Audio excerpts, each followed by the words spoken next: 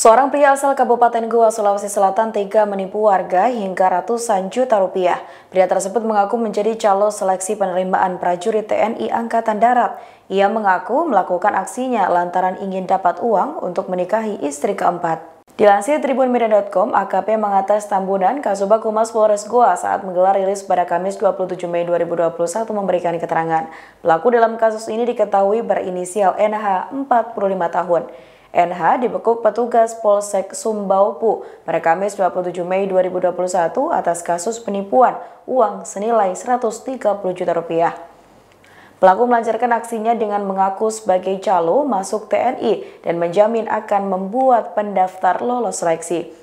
Hal itu berawal pada tahun 2020 ketika anak korban yang diketahui berinisial SR 50 tahun tak lolos tes masuk TNI. Ia pun menawarkan diri untuk bisa meloloskan dengan syarat disiapkan uang sebesar 150 juta.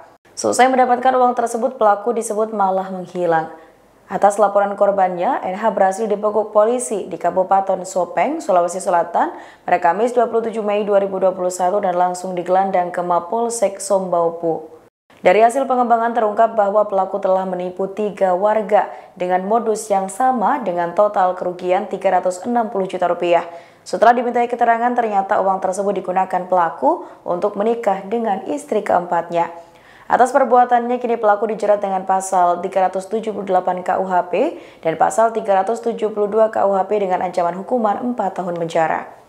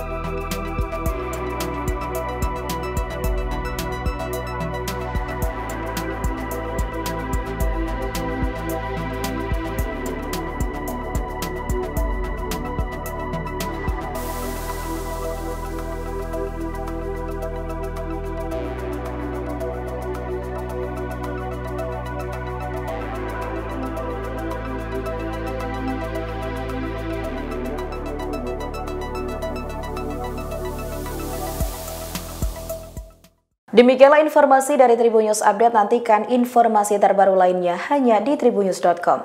Terima kasih sudah nonton. Jangan lupa like, subscribe, dan share ya.